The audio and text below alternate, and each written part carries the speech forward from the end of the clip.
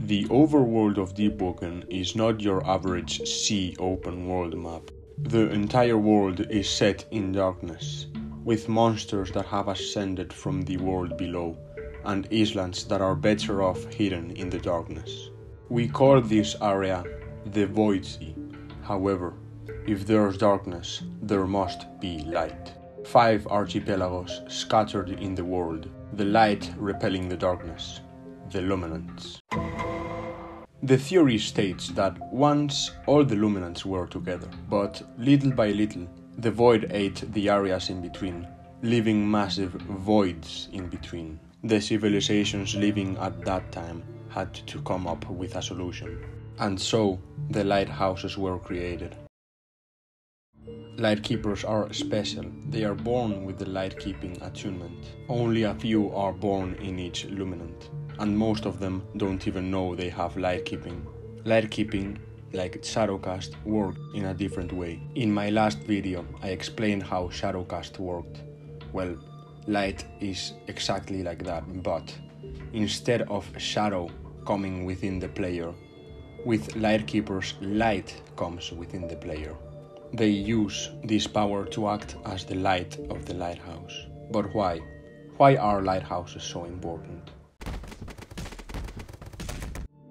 Do you remember the art I show in like all of my videos talking in the Luminant?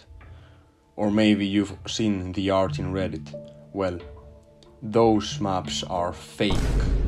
There's an error in them. Between Luminant and Luminant, there's not that space. There's much, much more space. To be exact, expeditions take months or weeks Going to the Void Sea for a month doesn't sound like a good idea, does it? Well, lighthouses are there to light up the way and show you where you must go. To put into perspective how important lighthouses are, there was an era where there were no lightkeepers. Only two expeditions managed to not drown in the void.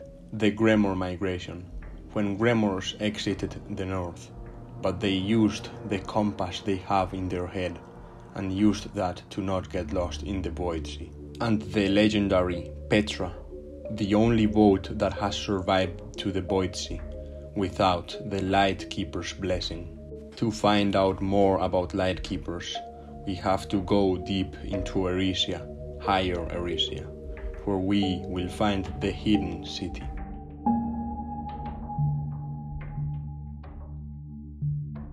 Nimea, an NPC, had a childhood friend that was born a lightkeeper.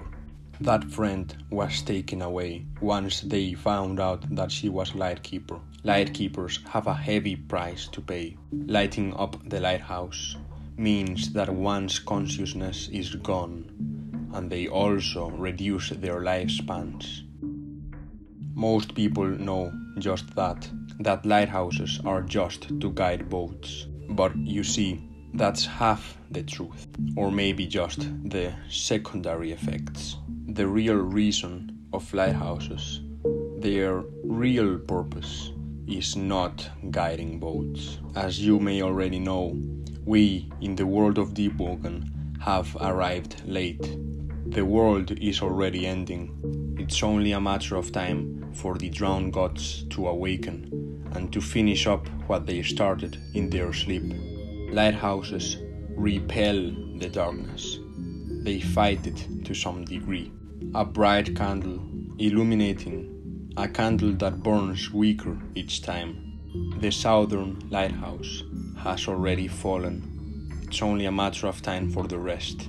Just look at the name Light Keepers, the keepers of the light, the keepers of the luminant the keepers of life.